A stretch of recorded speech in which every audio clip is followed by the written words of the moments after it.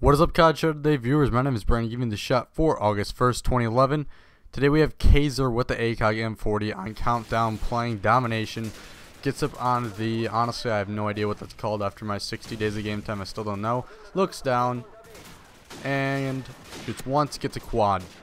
That's right, who gets a fucking quad in that spot? Let's watch that back in slow-mo. Sexy, sexy slow-mo. Misses a shot and then gets a quad. I have never seen a quad on Countdown, so that's awesome. Send your clips in the cut SOT submission at gmail.com. Filefront and YouTube links only. I have a brand new digital commentating. Hope you guys enjoyed. Goodbye.